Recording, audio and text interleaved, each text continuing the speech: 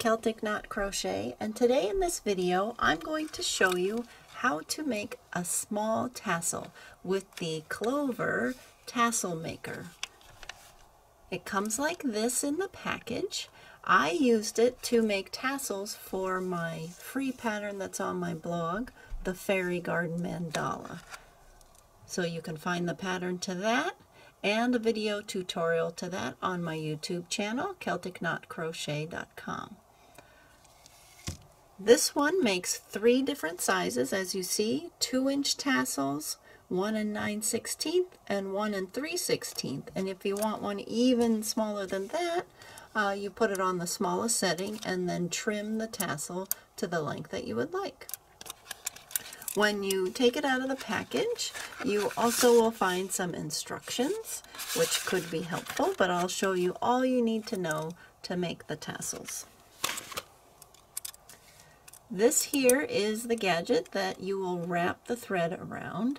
These little buttons here adjust the size. So if you loosen them, you can pull it all the way out and then your tassel would be half of this length because you fold what you're wrapping in half. But I wanted mine to be the smallest, so I had it all the way down where this edge here and this edge meet up with each other. And if you look here on the back and on the side, you can see there are markers here that mark where to set the gadget for the different sizes of tassels. So I'm going to tighten these knobs so that it's the width I like. And this here is considered the front of the gadget, and you can see it says Clover right there. And you're actually going to want to start winding the thread on the back.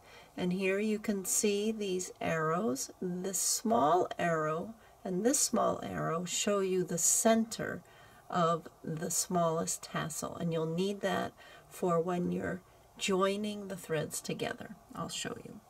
This opening down here is where you want to start the thread and it grabs it nicely for you.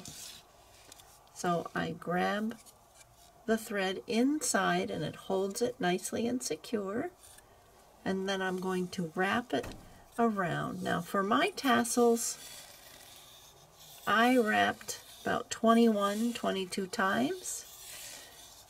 The directions recommend that you wrap about 25.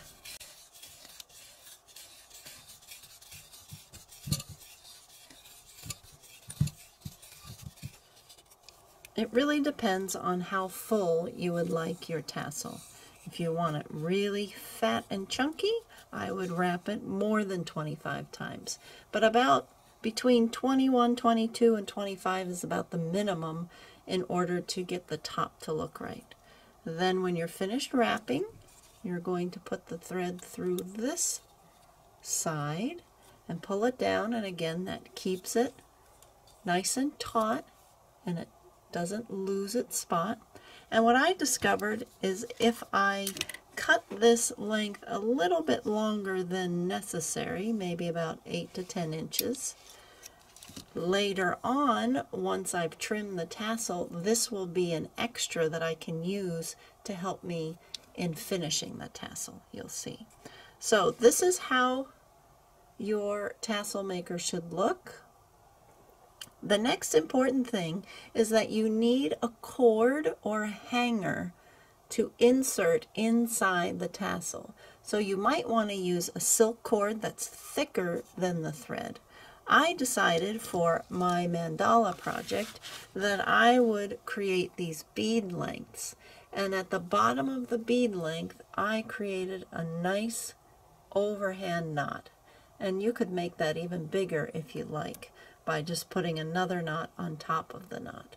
You need something with a knot because inside the tassel, that's going to hold it all together.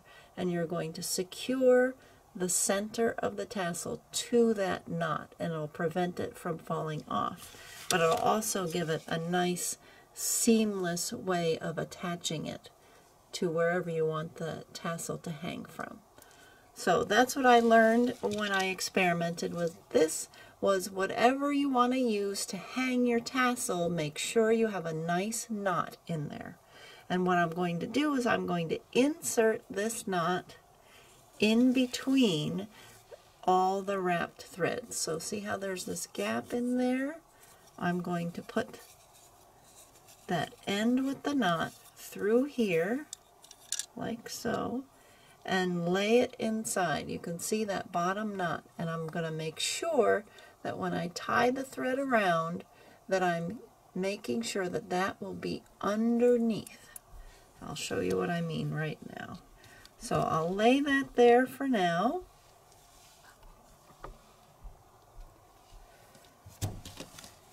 I need a length of thread, again about 8 inches, gives you plenty to work with. And I'm going to wrap the thread around all of those 21, 25 times. And this is where I'm using those side arrows right here that mark the center. So I want to try to tie my knot around these threads as close as I can to the center. At the same time, I want that knot, there's that knot, see that knot? I want that knot to be below where I'm going to tie this knot. And again, if you miss it, you can always adjust. So, tying a knot,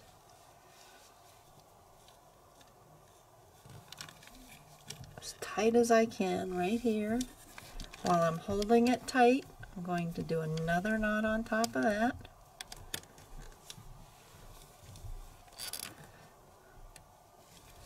Okay, and you can see, see my knot right below where I tied it off. That's going to help anchor the tassel to my bead length. Now what I'm going to do is I'm going to put the thread through to the front side and flip it over. So here's the front with the white knobs and I'm going to tie it again really really tight. In the directions they say that you can use a different type of thread than what matches. Uh, you could use a very strong cording, a special kind of sewing thread that is really good like upholstery thread for this kind of thing. Dental floss probably would work well too, but I found that this cotton crochet thread size 10 works great and it makes it nice and tight. So now that I have my hanging string secured inside there with that knot sitting inside, I'm now going to cut these threads to turn it into the tassel. And as you can see, along the top edge there's this channel that's perfect for fitting your scissors into. Like that. And I want to keep holding this whole gadget and the threads in it until I've cut this bottom. All right, there we go. Now it all falls off of the gadget and I remember I cut this thread extra long so I'm going to take that off and I'll be using it to tie up the tassel in a minute. So here you can see it looks like a sheath of wheat and my cord or my bead length is coming up from the inside. So I want to turn it and I can see half of the threads on one side of the bead length and half on the other. You see that? And this is where it's going to look nice if you fold these down on either side of that center length. And see how that creates that nice top to the tassel by folding them down like that. And then you work your fingers around And there you make sure everything's hidden inside. It's kind of like a little head of hair. Okay, and now that I have it like that, I can lay out this piece of thread. Lay the tassel on top. It depends how far up you want to tie it. So how big you want the top of your tassel to be. All depends on you, no right or wrong. Now the directions tell you a certain way to do this. I tried it and I found it was hard to do it more than that first time. So I just found that tying a nice tight overhand knot and then while I'm trying to hold it as tight as possible do another knot on top of that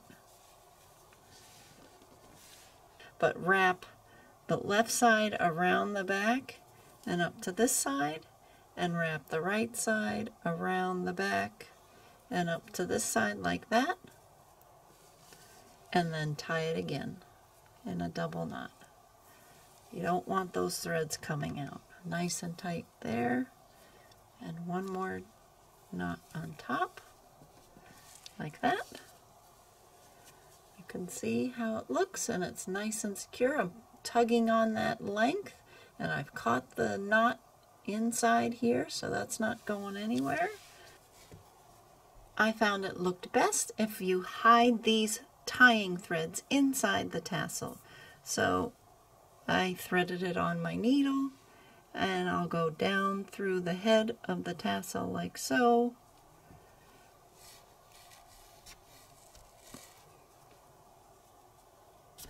Pull it through and I'll do the same thing with the other one and then you can't see them but that knot is still there nice and secure. And then the last thing is you just want to trim your tassel so it's the length you like. Just give it a haircut. If you miss a few, no biggie. It's easy to go back. See, that one's a little bit longer. Just go back and even it up. And that center different color from our chain length, well, we tied it off in a knot at the end. So I'll clip that as close up as I can so you can't see that. If you wanted to use a different color.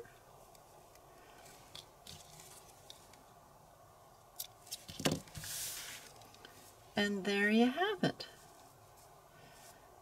A little tassel made with Clover's small tassel maker.